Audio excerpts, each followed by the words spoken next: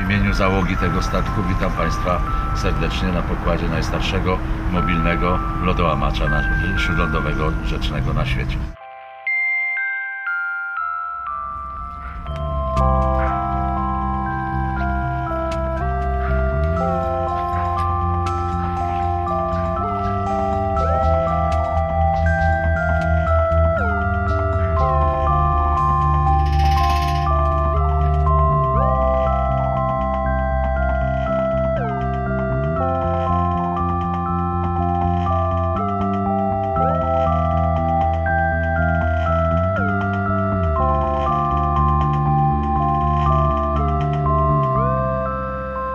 Została zbudowana w 1884 roku w stoczni Devrient w Gdańsku. Pierwsze to miał być lodołamacz liniowy, to jest pomocniczy, który idzie w drugiej linii. Po drugie miała być e, holownikiem, który miał dostarczać lodołamaczom czołowym barki z paliwem, czyli z węglem. W okresach poza akcją lodową miała służyć jako statek inspekcyjny dla prezydenta ówczesnej dyrekcji wodno-żeglugowej w Gdańsku, czy dla administracji wodnej rzeki Wisły.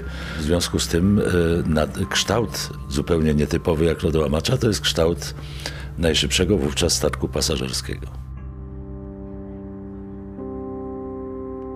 Spotkałem ten statek, właściwie pusty kadłub już po statku, wrak e, leżący pod wodą w 1983 roku. Wystawał tylko sam dziób i ten dziób jest przepiękny, jedyny w swoim rodzaju i za, zacząłem rozpytywać pracowników na stoczni, co to jest za statek i tak dalej. No i, i, i potem sobie postanowiłem, że od tego czasu będę psem ogrodnika, więc nikt go nie dostanie, aczkolwiek zdawałem sobie sprawę z tego, że odbudowa tego statku w tym stanie, w jakim on był, to wtedy wydawała się niemożliwa. Pytanie było, co pan chce z tego zrobić? No, muzeum pływające. No to nie ma sprawy, niech pan robi, prawda? Postawi pan przy brzegu i, i będzie stało, tak stoi sołdek, błyskawica, prawda, i tak dalej, i tak dalej. Chciałbym odmienić tutaj te, te role, nie ludzie do muzeum, a muzeum pływające do ludzi.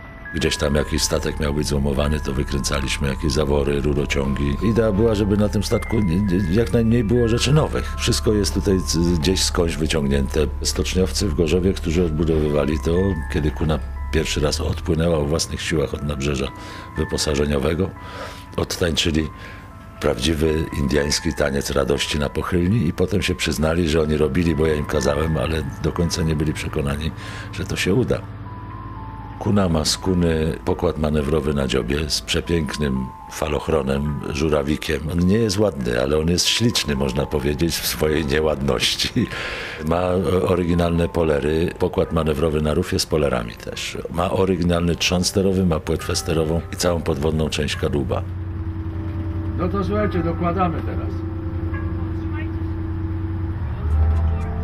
Ona jest szybka, ona jest zwinna, ona jest bardzo wymagająca jako statek. Tutaj byle kapitan z dzisiejszych statków, gdzie mają stery strumieniowe na dziobie i całą masę pomocy, on po prostu by się rozbił tym statkiem. Ja musiałem też uczyć się pilnie przez, przez co najmniej dwa lata. Troszeczkę zmieniły się te ciężary, ona ma ten dziób mocno wyniesiony i tutaj rzeczywiście trzeba dobrze patrzeć na wiatr. No i czasami trzeba się oprzeć o ląd. Ona się tego nie boi, bo ma 20 mm lane płyty stalowe. Uwaga, statki w przekopie klucz ustowo. W dół Odry Zachodniej idzie zabytkowy lodołamacz Kuna. Statek pozostaje na Odrze Zachodniej i zmierza w kierunku miasta. Ja mam respekt. Przed każdym rejsem, kiedy, kiedy mam statkiem wyruszać w rejs, mam tremę. Znam ten statek, można powiedzieć, znam jego zdolności manewrowe, wiem jak, jak nim manewrować, ale, ale tremę mam.